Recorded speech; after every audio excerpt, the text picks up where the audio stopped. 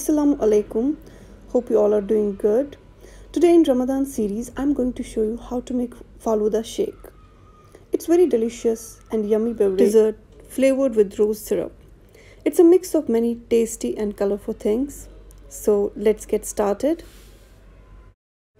I have taken full cream milk around 1 glass, sugar 1 teaspoon or you can adjust if needed because rose syrup is quite uh, sugary rose syrup around 1 tablespoon or Rooh Afza, 1 4 teaspoon of cardamom powder, almonds peeled and sliced, 1 tablespoon of basil seeds or sabza, and homemade sev, falooda sev that I have already shown in my falooda recipe how we make it at home so I'll be leaving a link in the description box.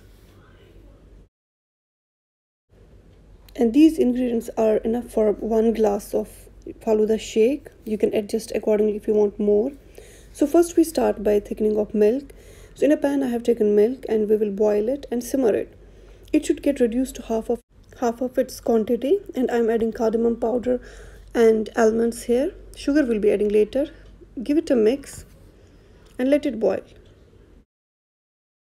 It will take 15 20 minutes on low flame to thicken. Now i'm adding sugar see it has started to thicken. A layer of cream is being formed. So we will keep on uh, scrubbing off the sides of the pan so that the cream gets mixed with it like this. And keep checking the consistency also. Now at this stage you can see it's quite thickened. The consistency is perfect. And you can see it has reduced in quantity also. So at this stage i'll turn off the flame and let it cool down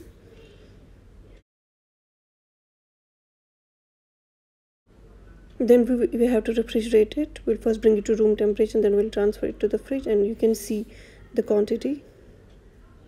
We'll keep milk in fridge for a few hours till it's chilled because it tastes best when it's chilled. Meanwhile i have soaked basil seeds in water.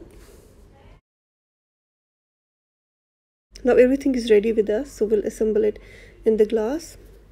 So first i'll put uh, rose syrup Rooh Afza in this then i'll add basil seeds then I'll be adding sev or falooda and here also quantity you can adjust according to your taste. You can add more basil seeds or and sev because saved is really good in falooda it's the main ingredient. Then I'll add some jelly.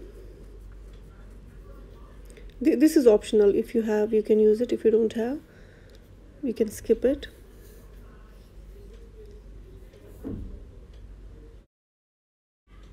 then we will add the ch thickened chilled milk. It's quite chilled now. Then I'll add some more basil seeds. Some more saver falooda then I have some uh, vanilla ice cream. This is an optional if you have. It adds good flavor to it so I'm adding a scoop of vanilla ice cream. Then I'll garnish it with some pistachios or you can add any other dry fruit of your choice or whatever is available with you and our super falooda shake is ready. You can even garnish it with some more dry fruits or fruits of your choice. It's one of the best layer dessert with multi-textured and flavored ingredients. Its taste simply can't be ignored. It's perfect refreshing beverage dessert for iftar. Give it a try and let me know in comments how it turns. And i'll be leaving a link of falooda rabdi and falooda kulfi in description box.